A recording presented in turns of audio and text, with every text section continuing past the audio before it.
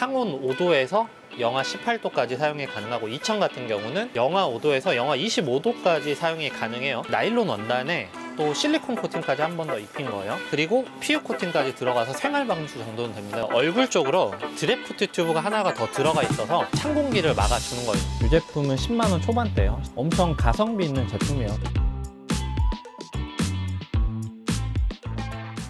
여러분 안녕하세요. 최학가입니다. 어, 이제 동계 시즌이 시작됐고 조만간 정말 추운 극동계 시즌이 돌아올 텐데 그럴 때 필요한 건 바로 이런 침낭 종류예요. 물론 모캠을 다니시면 이불 들고 다니고 그러긴 하겠지만 어쨌든 캠핑에서 이 침낭이라는 포지션은 꽤 중요하거든요. 오캠뿐만 아니라 뭐 노지나 뭐 백패킹을 다닌다거나 하실 때 이런 침낭의 존재가 되게 중요하거든요. 100만 원이 넘는 스펙 좋은 그런 침낭을 사용하고 그런데 그런 침낭은 사실 금액대가 접근하기가 정말 쉽진 않잖아요 물론 금액대가 높으면 높을수록 좋은 거는 있어요. 뭐냐면 그 안에 들어가 있는 뭐 솜털과 깃털의 비율이 좋다든지 들어가 있는 goose의 뭐 품질이 좋다든지 그런 게 있는데 제가 오늘 소개해 드릴 거는 1600과 2000g에 극동계에서도 사용이 가능한 가성비 있는 침낭을 소개를 해 드리려고 해요. 제가 오늘 소개해 드릴 거는 1600짜리거든요. 2000짜리도 있는데 그건 지금 저는 없어요. 어쨌든 1600에서 10만 원대 초반대 가격이라고 하는 거는 굉장히 저렴한 제품이라는 거거든요. goose 침낭 중에서는 어반사이드 Arctic Fluff 1600을 오늘 unboxing 하면서 리뷰해보면서 실제로 사용을 해보고 과연 얼마나 따뜻한지 그리고 제품의 품질은 어떤지 이런 것들을 하나씩 체크를 해보면서 리뷰를 해보도록 할게요. 어반사이드는 오토 캠핑 용품을 출시를 하고 있는데 최근에 이제 goose down도 출시를 했고 침낭까지 출시를 할지는 저도 몰랐어요. 거기에 더해서 텐트도 아마 두세 개 더 나올 걸로 알고 있는데 영역을 넓혀가는 게 되게 무서워요. 어쨌든 이게 1600짜리인 만큼 작은 침낭보다는 그래도 패킹은 어느 정도 들어가 있어요? 1600g이면 어느 정도에서 사용 가능하냐면 상온 5도에서 영하 18도까지 사용이 가능하고 2000 같은 경우는 영하 5도에서 영하 25도까지 사용이 가능해요. 사실 이 온도 위에서는 더울 수가 있어요 진짜로. 그래서 침낭도 사실은 내가 어느 시기에 쓰냐에 따라서 좀 달라지는데 제가 오늘 소개해드릴 제품은 극동계에 많이 사용이 되는 그 침낭이라고 보시면 될 것 같아요. 겉은 그냥 일반적인 침낭과 되게 비슷하게 생겼습니다.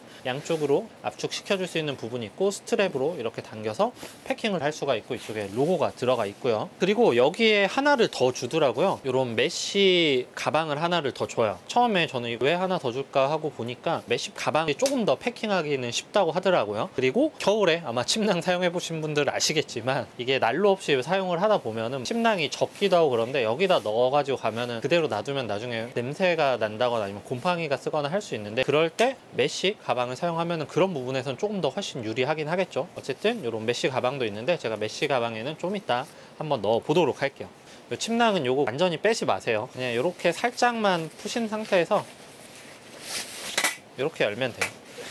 침낭을 이렇게 빼시면 됩니다 그리고 이 제품은 750fp 짜리입니다. 시간이 지나면 복원이 될 거예요. 그리고 요거 같은 경우는 머미형입니다. 침낭이 사각형이 있고요. 머미형이라고 해서 모양 자체가 이렇게 발 쪽으로 갈수록 좁아드는 게 있어요. 장단점이 있는데 사각형 같은 경우는 펼쳐서 이불로 사용을 할 수가 있고요. 머미형 같은 경우는 체온 보온에는 훨씬 더 유리해요. 공간이 많이 남으면 남을수록 춥거든요. 근데 요거 같은 경우는 이렇게 다리 쪽으로 갈수록 모아주면서 체온 보온에 유리한 디자인을 가진 게 바로 이런 mummy형일 거예요 머리까지 이렇게 뒤집어 쓰고 안에 핫팩까지 넣고 자면은 정말 따뜻하게 잘 수가 있어요. 소재나 이런 것들을 하나씩 좀 얘기를 드리도록 할게요. 디자인은 일반적인 mummy형이랑 비슷하게 생긴 제품이고 외부 소재는 초경량 고강도 20T 나일론 원단을 사용을 했거든요. 나일론 원단에 또 실리콘 코팅까지 한 번 더 입힌 거예요. 침낭 써보신 분들 아시겠지만 이 털 빠짐이 있어요. 어떤 제품인지 간에. 근데 이거 같은 경우는 그런 털 빠짐을 방지하기 위해서 실리콘 코팅을 한번 넣어줬어요. 그러면은 털 빠짐이 아예 없지는 않을 텐데 그래도 털 빠짐이 훨씬 덜 할 거예요. 그리고 PU 코팅까지 들어가서 생활 방수 정도는 됩니다. 그래서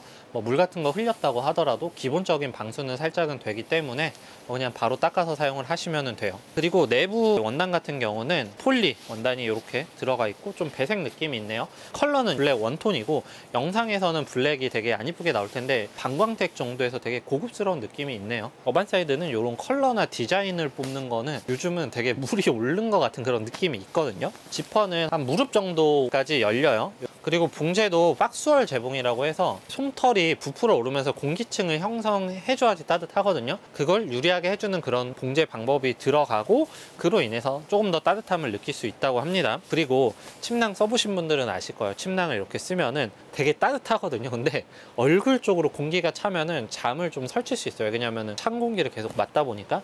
그래서 내부에 보면은 이렇게 뭔가 하나가 더 들어가 있어요. 얼굴 쪽으로 draft tube가 하나가 더 들어가 있어서 찬 공기를 막아주는 거예요. 그러니까 잘 때 draft tube로 얼굴을 가리고 자면은 찬 공기 유입을 한 번 더 막아주기 때문에 조금 더 따뜻하게 포근하게 주무실 수가 있겠죠. 나머지는 제가 누워보고 실제로 들어갔을 때 얼마나 따뜻한지 그리고 뭐 착용감 이런 것들을 하나씩 보여드리도록 할게요.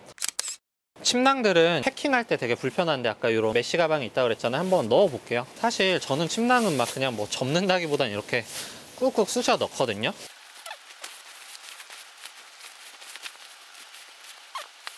압축하는 거는 기본 가방보다 훨씬 편해요. 이런 식으로 패킹이 되고 뭐 나는 오캠 다니기 때문에 패킹 부피 상관없다 하면 오히려 이렇게 메쉬에 넣어놓고 다니는 게 훨씬 더 유리할 거예요. 복원이 된다거나 할 때. 그리고 여기서 나는 조금 더 압축을 시키겠다 하면은 기존 가방을 사용을 하면 되는데 이 상태에서 가방에 넣어도 될 것 같은데요. 그러면은 조금 더 쉽게 들어갈 것 같아요. 여기서 음 원래 처음에 있던 이 기본 가방에 넣을 때보다는 훨씬 더 편하게 넣어지기는 하네요. 이거는 여러분들이 선택을 하시면 될 것 같아요. 어쨌든 이렇게 패킹이 됩니다. 어반사이드 Arctic Fluff 1600을 펼쳐졌는데 1600 무게는 2.15kg고 그 다음에 2000 무게는 2.7kg예요 제가 일부러 지금 여기는 난로를 안 켜준 상태거든요 되게 추워요 지금 밖에도 비가 오고 있고 지퍼는 어디까지 열리냐면 이 정도까지 열려요 이게 샘플인데 본품에서는 지퍼 부분 야광 처리가 들어가서 밤에 지퍼를 찾기 쉽게 할 수 있게 야광 처리가 들어간다고 합니다. 우선 안쪽에서도 이제 지퍼는 이렇게 닫을 수 있고요. 지퍼 풀리면은 그만큼 찬 공기 들어오면서 체온이 떨어지거든요. 그렇기 때문에 지퍼 풀림을 방지하기 위한 이런 벨크로도 안과 밖에 양쪽으로 같이 들어가 있어요. 그래서 이렇게 닫아 주시고 이렇게 모자를 쓰고 이거를 조여 주셔야지만이 더 따뜻하게 지내실 수 있는 거예요 이렇게 주무시면 되는 거예요 그리고 안쪽에 제가 이게 이중으로 덧댐 돼 있다 그랬잖아요 그래서 이렇게 들어가서 자면은 찬 공기 들어오지 않게 되게 잘 주물 수 있을 것 같아요 머미형은 확실히 일반적으로 사각형보다는 훨씬 따뜻하기는 하거든요. 그 체온도 더 잘 보존을 해주고 그리고 지금 구수가 이게 1600짜리잖아요. 사실 오캠에서는 1600이면 넘치는 스펙이에요. 사실. 다만 뭐 노지 캠핑 갔을 때 뭐 날씨에 따라 1600, 2000으로 선택을 하시면 되는데 제 채널을 보신 분들이 보통은 오캠을 많이 하시니까 1600만으로도 충분하고 나는 난로 없이 지내고 싶다 하시면은 2000으로 가셔도 괜찮습니다. 그리고 요 안에 보면은 이제 포켓 같은 것들도 있거든요. 여기 핫팩 같은 거를 한 두세 개 정도 터트려 주시면은 훨씬 더 따뜻해 오히려 더울 수가 있어요. 진짜로. 좋네요. 지금 낮이니까 안에 들어있으니까 덥다고 느껴지는데 이제 밤 돼서 더 추워지면은 침낭에 제대로 된 성능이 나오긴 할 거거든요. 가성비 침낭이잖아요. 솜털이랑 깃털 비율은 3대 7이에요. 그러니까 솜털이 3, 깃털이 7인데 당연히 솜털이 많을수록 금액은 정말 많이 뛰어요. 7대 3, 8대 9대 1 정도 되면은 이제 금액이 한 100만 원 정도로 높아지는 거예요 요 같은 경우는 이제 금액 대비해서는 괜찮게 나온 스펙이기는 해요. 3대 7이라고 하더라도 뭐 에베레스트에 갈 거 아닌 이상에서야 일반적인 우리나라 캠핑 환경에서는 어느 정도 잘 맞는 스펙이고 창가 쪽에는 되게 찬바람 많이 들어오거든요. 이렇게 창가 쪽에 넣고 하룻밤 자보고 나서 일어나서 이 제품 어떤지 다시 한번 얘기를 드리도록 할게요. 어제 날씨가 눈이 갑자기 오면서 엄청 추워졌거든요.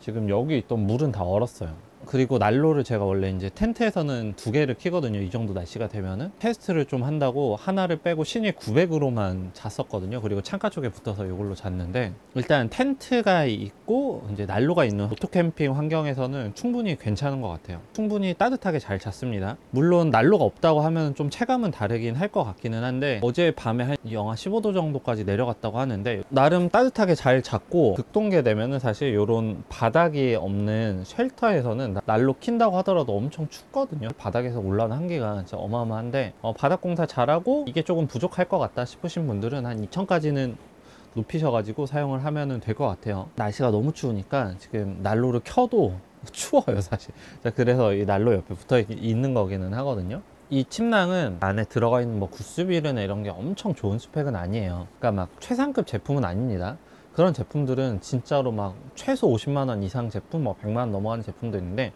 이 제품은 10만 원 초반대예요. 750 fill power로 되게 빵빵하고 real goose 함량 1600g으로 따뜻하고 그리고 20D 나일론으로 고급진 원단이 들어가 있어서 이 세 가지를 만족하는 10만 원대 침낭은 사실 찾아보기가 정말 쉽지는 않거든요. 진짜로 이 가격대에서 이 정도 스펙이면 충분히 괜찮은 제품이라고 말씀드릴 수 있을 것 같아요.